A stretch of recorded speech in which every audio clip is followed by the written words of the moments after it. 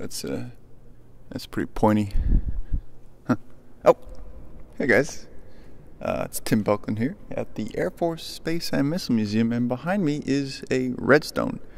Now, redstone is actually quite popular amongst the space history circles because on top of redstone was Alan Shepard, who rode into space to become the first American to do such a thing. And back in 1958, redstone was used to launch the first American satellite, Explorer 1.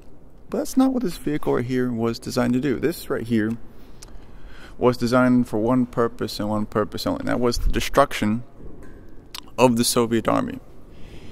Now, by 1949, when the Soviets detonated their first nuclear weapon, we were trying to figure out how we were going to deal with these guys. Now, in 1946, Stalin had a very popular uh, speech where he talked about World War II and what caused it.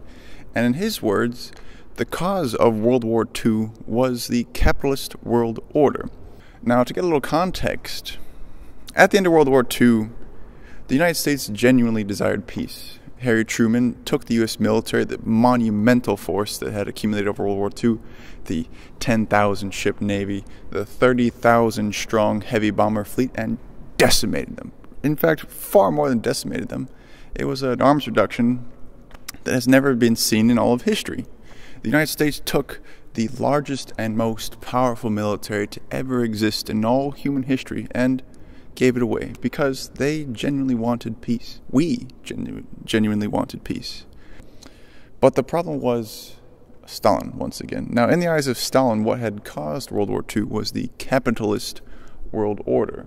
And whether or not this is true doesn't really matter. What matters is this is what he believed. And he was in charge of the largest ground combat force to ever exist, the Soviet Army. Now, the Soviet Army had fought a very different war than the U.S. Army did uh, much more mechanized and heavy armor intensive conflict. And it was clear that comparing these two forces, if they were to go head to head, it would be a little bit difficult for the American military to defeat this massive Soviet horde. But luckily for the United States, we had a device, the nuclear weapon, which guaranteed that if the Soviets tried to do such a thing, that we would murder them. But then in 1949, things got a little bit more complicated. The Soviets detonated their own nuclear weapon, and the fear was that the the activities that were going on in Korea were going to spread to Western Europe, to Western Germany, to France, to Italy, things like that.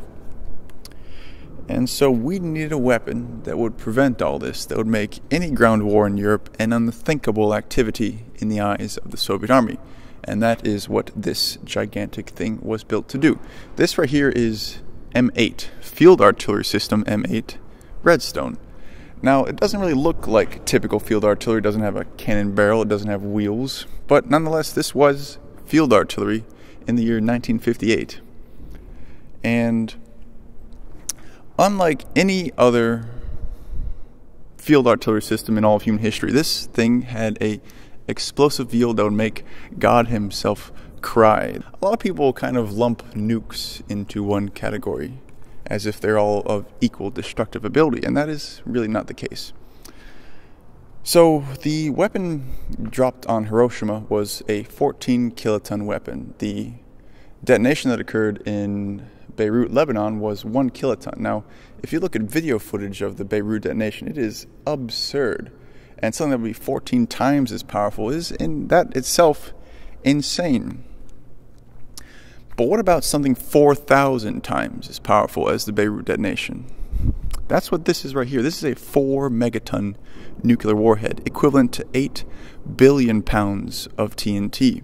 This is a weapon that alters society, that a singular use of such a thing alters the history of a people group.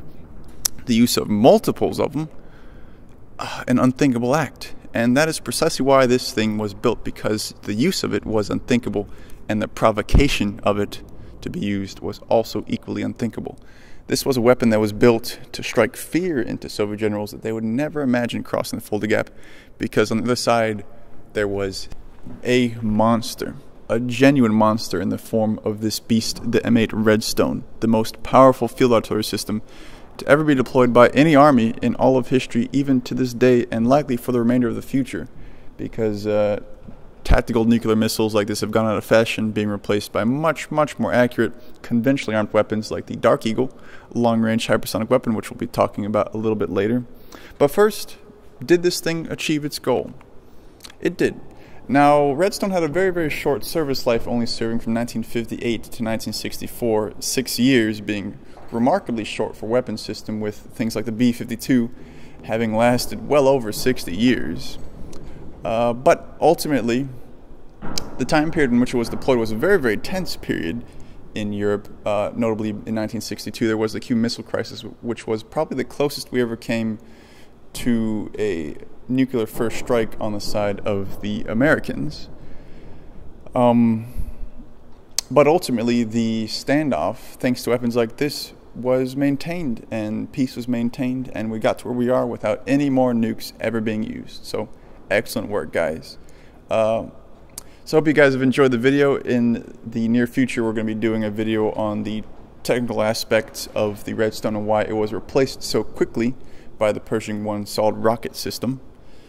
Uh, and then we'll be talking about the Pershing II and its uh, political nature uh, that led to the INF Treaty. And then we'll be talking about the Dark Eagle and its political nature that led to where we are today. So if you guys have any interest in any of that stuff, uh, hit that subscribe button and stick around.